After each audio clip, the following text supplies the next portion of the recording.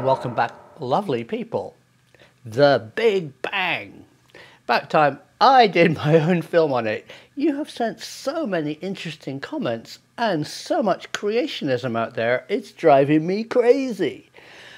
Let's look at the science. So, of course, one of the big things everybody asks is how did it all start? Where did it come from? Well, this is a really good question, and it's worth exploring the contemporary science of the creation of everything. So, in our wonderful and strange world, there is quantum mechanics. Quantum mechanics is all about weirdness, where particles can pop into our plane of reality, and I choose these words very carefully, and pop out randomly. So these weird particles pop into existence, often as pairs. Boop, boop. Entangled, they exist for a second and then annihilate each other. But here's the twist. So imagine for a moment particles are popping into existence all over the place, as they are right now. And two of them pop into existence at the moment the universe is expanding. The theory is that quantum particles, entangled particles that normally pop pop and then annihilate each other, if they pop pop and then expand, they're trapped. And those particles, because they're trapped by extreme expansion, start to exist in our reality. This all sounds completely mad. I'm sure I'll get hundreds of it was God. Well, it was amazing.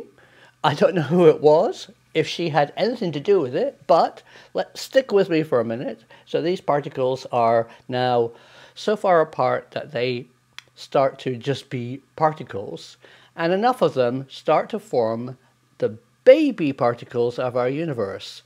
And stable atoms start forming, like hydrogen and helium, and all the way up to carbon, mainly us. So we are really part of the Big Bang. But here's the really interesting thing. In a great article in Wired and in the New York Times, scientists are looking at relationships. And now to get back to the title of this film, a question. What is the relationship between a squished turtle and a dinosaur? Oh, that is such a cool story. Paleontologists in Switzerland found this crushed turtle. And when they looked at it, they found that it had been stepped on by a giant dinosaur. So the point of the story is there was a relationship between the poor squashed turtle and the big dinosaur who stepped on it. You suddenly have a bigger picture of the world, and this is what scientists are doing with these particles. You will know that I am a giant fan of the CMB. CMB, Cosmic Microwave Background, the true baby picture of the cosmos. You will remember that the CMB was discovered at Bell Labs, the telephone company, when Penzias and Wilson found an annoying buzz in their antenna, and when they looked, they realized it was microwave energy ancient microwave energy. In fact, ancient light, 13.8 billion years old, that over the course of time had gone from a light frequency, photons, down to microwave energy. And that was what they were hearing on their telephone circuits. After years of looking for details in the cosmic microwave background that could relate to our current universe, a brilliant astronomer called Tony Readhead started to find details, and later on, satellites produced this the first baby picture of our universe. But the obvious question is how does this relate to this? Is there a relationship between the early baby picture of the universe and the night sky or the universe that we see today? Well, this is the new research. If you go back to these particles, remember pop and pop that expanded, maybe their relationship stayed interlocked.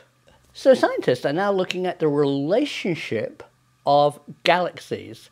And if you draw lines between them, suddenly, uncannily, there seems to be a correlation back to the two particles. Let's try and make this a bit clearer.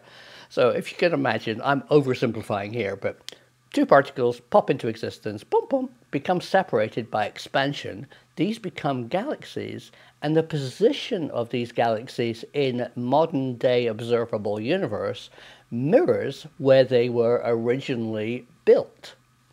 So, a modern astronomy question is if you start looking at relationships between the space between galaxies, is it like the turtle and the dinosaur? Will it tell you a bigger picture? So, the big picture we learn from the turtle and the dinosaur is the dinosaur stepped on the turtle because the turtle had just come out of the sea. So that meant the sea was near where the dinosaur lived. Suddenly you're getting a bigger picture, which is fascinating. And maybe we can use that data to look at our big picture of the universe. So that's enough of me waving my arms around. I get terribly enthusiastic by current science, and I think it's great. And I like to share it with you because you're great viewers, and the truth is out there.